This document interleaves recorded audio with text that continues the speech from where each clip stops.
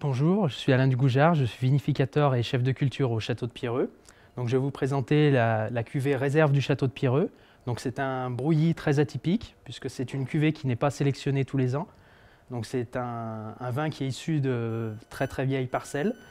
On est sur des petits rendements, on a donc euh, des arômes de fruits cuits, des notes épicées, on a une couleur très soutenue. C'est un vin très très intense euh, que j'aime particulièrement et donc qui va très bien avec des, des viandes en sauce ou des fromages.